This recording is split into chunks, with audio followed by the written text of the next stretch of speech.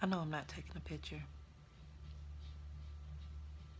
Just like to do this when I'm not doing anything at work.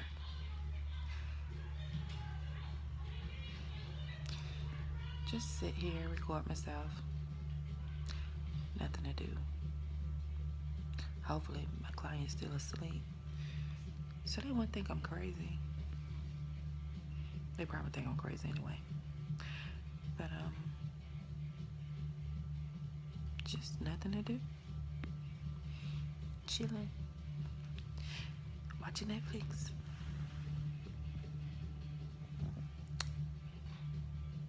I love my job.